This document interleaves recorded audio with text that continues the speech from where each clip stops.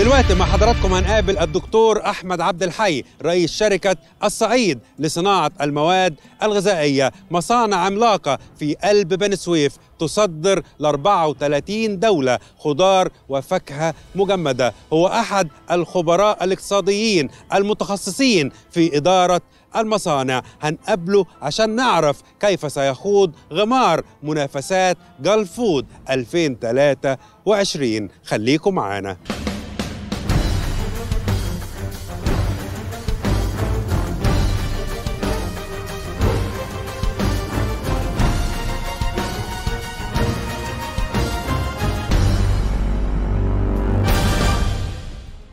العالم بيواجه نقص حاد في الغذاء ومصر النهارده تعتبر واحدة من أهم الأسواق المنتجة للصناعات الغذائية عالمياً وخصوصا الخضر والفاكهة المجمدة وشركاتنا المتخصصة في الصناعات الغذائية هتشارك بقوة في معرض جلف فود في دبي خلال ساعات. واللي يعتبر واحد من أكبر المعارض المتخصصة في الصناعات الغذائية في العالم. حوالي 102 شركة مصرية هتخوض التحدي وطبعا ده في ظل تحديات كبرى. العالم أجمع بيبحث عن الأمن الغذائي وبأسعار عادلة.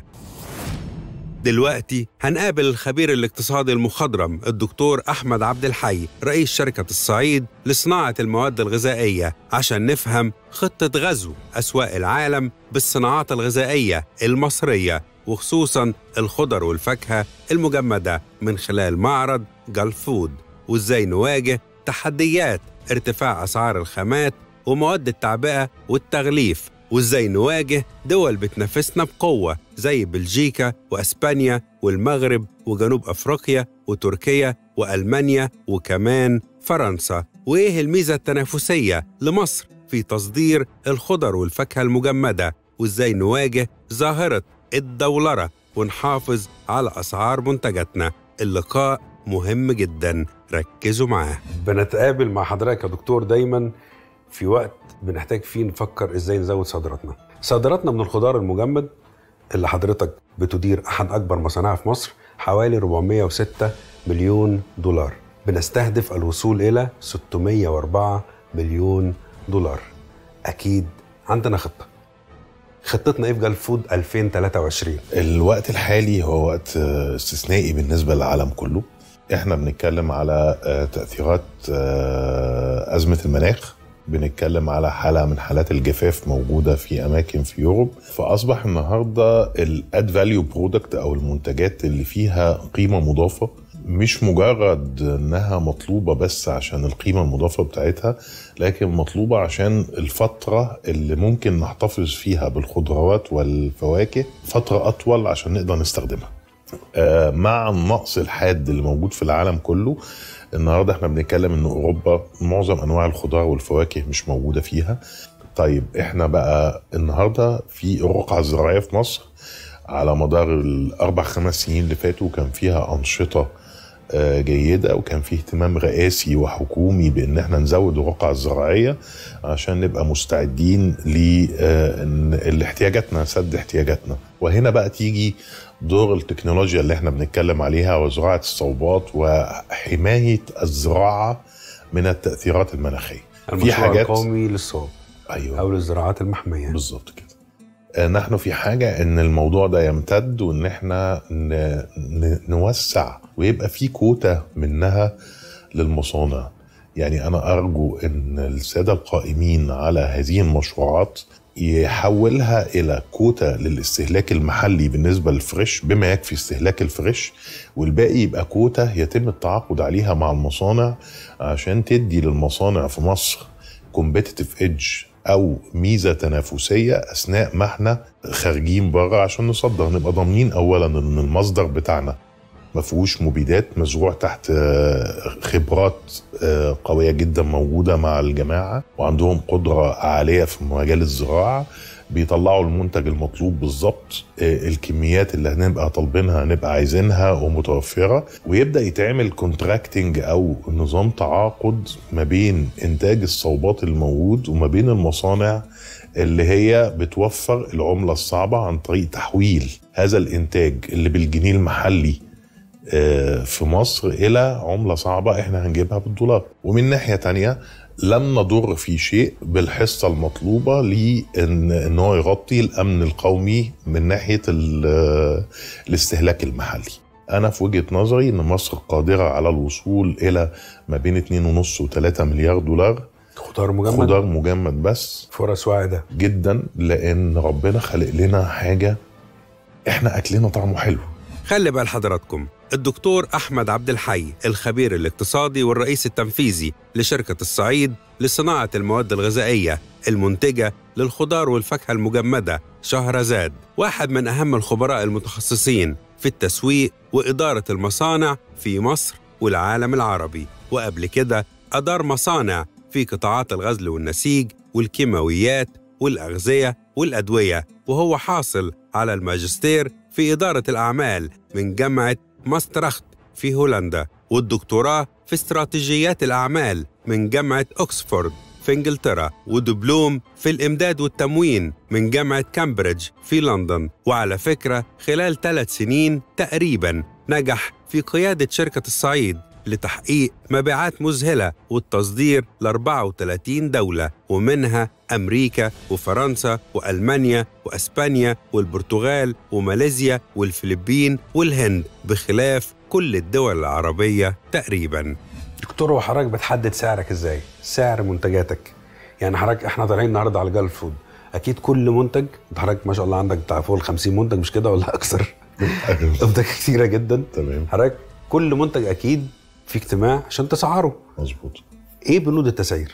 إحنا في عندنا اتنين متغير في موضوع الأسعار لازم يكونوا تملي في اعتبارنا الجزء الأول اسمه market market management survey فحص بيتم لجميع أسواق العالم اللي إحنا بنتعامل معاها مرة كل شهر وبيبقى عندنا كده ال market trend بتاع المنتجات. يعني ال- السعر اللي هو اللي ماشي بيه سواء بقى جاي من بلجيكا من أسبانيا من مصر جنوب أفريقيا، من جنوب تركيا. أفريقيا من تركيا عشان نعرف ال- ال market norm طبيعة سعر المنتج في هذا السوق ال- الشق الآخر له علاقة بالتكاليف داخل مصر هنا آه، تكلفة المادة الخام اليلد بتاعها أو نسبة الهالك اللي بتتعمل فيه تكلفة التصنيع تكلفة الكهرباء وبيتعمل ما بين الاتنين ميرج أو عملية آه، دمج للدراسة اللي جاية كسعر مستهدف في الأسواق مع الوضع القائم من ناحية التكلفة.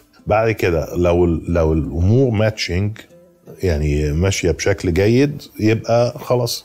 طيب لو إن لأ الاسواق الدراسة اللي جاية من الأسواق بتقول إن إحنا سعرنا مغالى فيه أو التكلفة اللي عندنا أغلى بكتير من هذه الدول.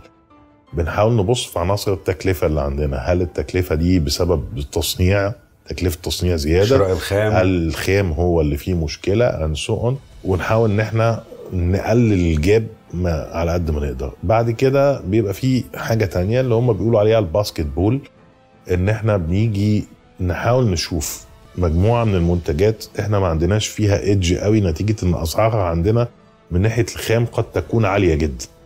لكنها ضرورية لمنتجات أخرى مطلوبة بس الاتنين linked مع بعض مربوطين ببعض ومطلوب إن هم يكونوا مع بعض. فبنعمل إن إحنا بندخل تكلفة دي مع تكلفة دي تمام؟ عشان نحصل على متوسط تكلفة عادل. دكتور أحمد حضرتك في Gulfood 2023 أكيد في منتجات جديدة وفي أفكار جديدة هتقدمها للعالم. دايما بتفاجئنا. هنصور مع حضرتك هناك وهنشوف المفاجآت. ولكن عايز أعرف كيف يفكر الدكتور أحمد عبد الحي في 2023 في معرض Gulfood؟